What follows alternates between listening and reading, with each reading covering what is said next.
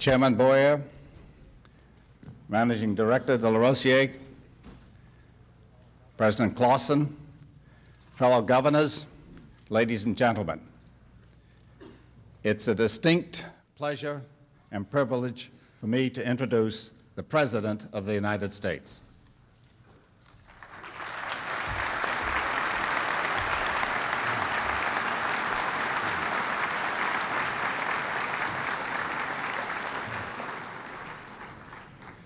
Thank you very much, Don. And Chairman Boyer, President Clausen, Managing Director Mr. De Larosière, governors of the World Bank and its affiliates and of the International Monetary Fund, distinguished colleagues and guests.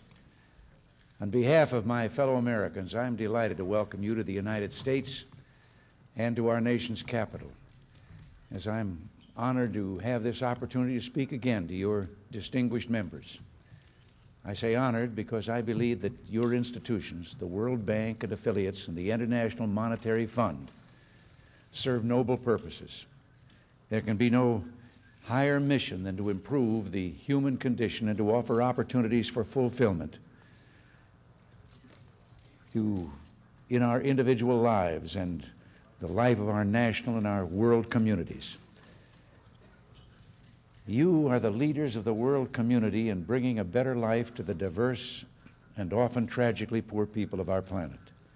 You have worked tirelessly to preserve the framework for international economic cooperation and to generate confidence and competition in the world economy. The unending quest for economic, social, and human improvement is the basic drive that inspires and unites all of us. In 1945, when your great institutions were established. The civilized world had been brought to its knees by a wave of totalitarian violence that inflicted suffering, sacrifice, and the suppression of human rights on millions of innocent people. Security, freedom, and prosperity were very much on the minds of the citizens of the world in 1945. They should be on our minds today. The institutions you represent could not have been born, could not have flourished, and may I add, will not survive in a world dominated by a system of cruelty that disregards individual rights and the value of human life in its ruthless drive for power. No state can be regarded as preeminent over the rights of individuals. Individual rights are supreme. In this civilization, we've labored so faithfully to resurrect, preserve, and enhance let us be ever mindful. It is not just development and prosperity, but ultimately our peace and our freedom that are always at stake. Too often, the demands of prosperity and security are viewed as competitors when in fact they're complementary, natural, and necessary allies. We cannot prosper unless we are secure, and we cannot be secure unless we're free. The goals of the great international political and economic institutions, the United Nations, where I spoke yesterday, and the World Bank, its affiliates, and the IMF you represent here today, were to be reached by trusting in a shared and enduring truth. The keys to personal fulfillment, national development, human progress, and world peace are freedom and responsibility for individuals and cooperation among nations. When I addressed the delegates of the United Nations yesterday, I reminded them you have the right to dream great dreams, to seek a better world for your people. And all of us have the responsibility to work for that better world. As caring, peaceful peoples, think what a powerful force for good we could be. Today, I come before your distinguished assembly in that same spirit, a messenger for prosperity and security through the principles of freedom, responsibility, and cooperation. When our nations trusted in these great principles in the post-war years, the civilized world enjoyed unparalleled economic development and improvement in the human condition. We witnessed a virtual explosion of world output and trade and the arrival of many free, self-determined, independent nation states as new members of the international system. And as I said when I last spoke to you, the societies that achieved the most spectacular broad-based economic progress in the shortest period of time have not been the biggest in size, nor the richest in resources, and certainly not the most rigidly controlled. What has united them all was their belief in the magic of the marketplace. Millions of individuals making their own decisions in the marketplace will always allocate resources better than any centralized government planning process. Trust the people. This is the crucial lesson of history, because only when the human spirit is allowed to worship, invent, create, and produce, only when individuals are given a personal stake in deciding their destiny and benefiting from their own risks, only then do societies become dynamic, prosperous, progressive, and free. In the turbulent decade of the 1970s, too many of us, the United States included, forgot the principles that produced the basis for our mutual economic progress. We permitted our governments to overspend, overtax, and overregulate us toward soaring inflation and record interest rates. Now we see more clearly again. We're working and cooperating to bring our individual economies and the world economy back to more solid foundations of low inflation, personal incentives for saving and investment, higher productivity, and greater opportunities for our people. Our first task was to get our own financial and economic houses in order. Our countries are interdependent, but without a foundation of sound domestic policies, the international economic system cannot expand and improve. Merely providing additional official development assistance will not produce progress. This is true for all countries, developed and developing, without exception. As the 1983 Development Report of the World Bank notes, that international actions can greatly improve the external environment confronting developing countries, but cannot supplant the efforts that the developing countries must make themselves. I believe the United States is making real progress. Since we took office, we've reduced the rate of growth in our federal government spending by nearly 40 percent. We have cut inflation dramatically from 12.4 percent to 2.6 percent for the last 12 months. The prime interest rate has been cut nearly in half, from 21.5 percent to 11 percent. Figures released last week reveal our gross national product grew at an annual rate of almost 10 percent in the second quarter and about 7% is estimated for the third. In the United States, we still face a large projected deficits which concern us because deficit federal spending and borrowing drain capital, capital that could otherwise be invested for stronger economic growth. But as Secretary Regan correctly pointed out in the interim committee Sunday, the deficit is coming down as a result of economic growth Revenues are higher than anticipated, and we expect continued improvement. We'll continue to work for greater restraint in federal spending, but we will not risk sabotaging our economic expansion in a short-sighted attempt to reduce deficits by raising taxes. What tax increases would actually reduce is economic growth by discouraging savings, investment, and consumption. One other point about the United States deficit let me make clear that it is caused in part by our determination to provide the military strength and political security to ensure peace in the world. Our commitment to military security is matched by our resolve to negotiate a verifiable nuclear arms reduction treaty. Only then can we safely reduce military expenditures and their drain on our resources. As I mentioned at the outset, there can be no lasting prosperity without security and freedom. Turning more directly to economic development, all signs point to a world economic recovery gaining momentum. As early as last February, the Conference Board predicted that economic growth rates in the United States and six major industrial countries spell economic recovery in any language. Since then, industrial production in the OECD countries has been moving up. Your own IMF economists are predicting growth in the world economy of at least 3% next year. This is the brightest outlook in several years. As the U.S. economy picks up steam, our imports rise with it.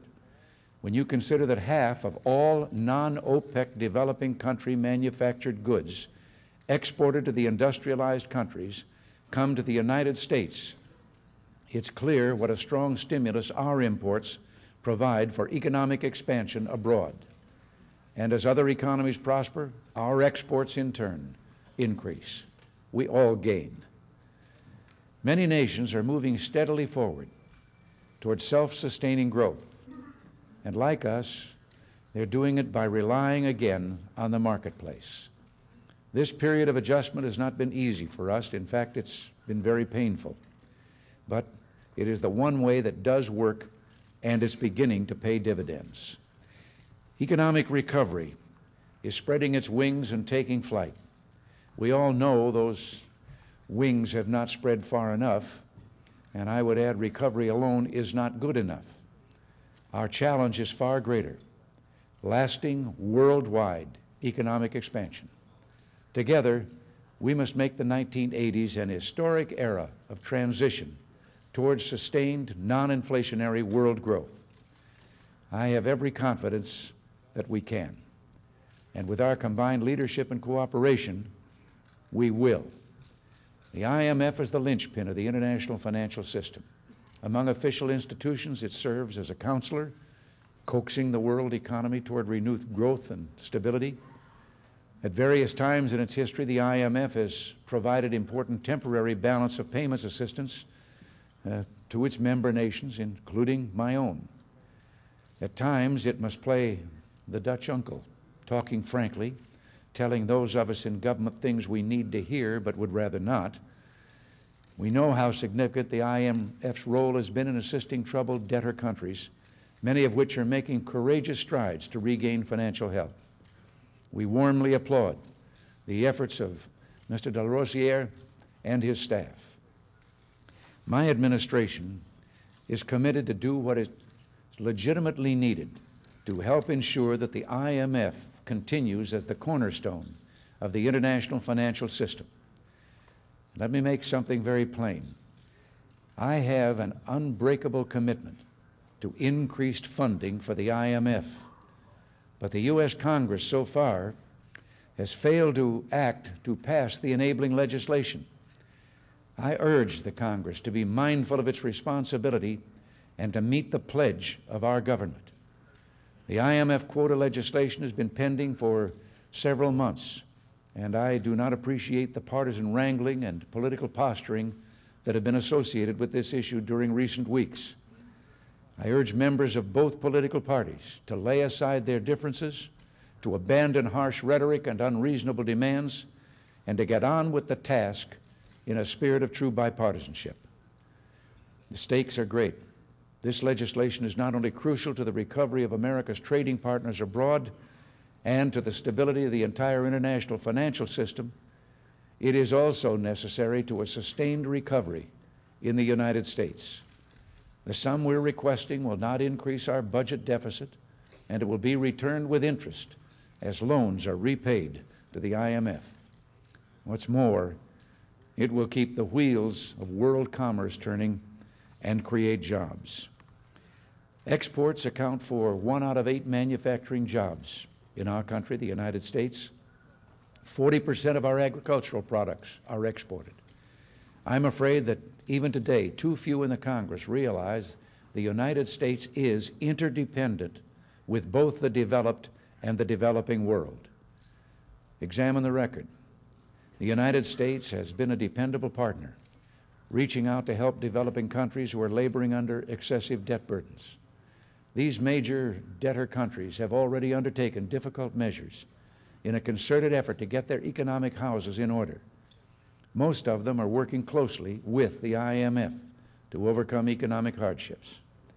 They continue to demonstrate a commendable willingness to make necessary adjustments. And that's why I can state that our participation in the IMF quota increase is not a government bailout of these debtor countries or of the banks which are sharing the burden. On the contrary, IMF plans to assist financially troubled countries called for the banks to put up more new money than the IMF itself. This is by nature a cooperative enterprise. If the Congress does not approve our participation, the inevitable consequence would be a withdrawal by other industrialized countries from doing their share. At the end of this road could be a major disruption of the entire world trading and financial systems, an economic nightmare that could plague generations to come. No one can afford to make light of the responsibility we all share. We strongly support the World Bank. In fact, the United States remains its largest single contributor. We recognize its key role in stimulating world development and the vital assistance it provides to developing nations. Here again, I have proposed legislation to meet our commitment for funding the World Bank and especially the International Development Association. It is important that these funds be available to help the people in the poorest countries raise their standards of living. Tomorrow, Secretary Regan will be discussing both the fund and the bank in more detail. Because our investment in the World Bank's operations is so large, we feel a special responsibility to provide constructive suggestions to make it even more effective. Let me simply underscore again a fundamental point, and I say this as a spokesman for a compassionate, caring people. The heart of America is good, her heart is true. We've provided more concessional assistance to developing nations than any other country, more than $130 billion in the last three decades. Whether the question at hand be bank project financing or fund balance of payments assistance, it must be considered a complement to, not a substitute for, sound policies at home.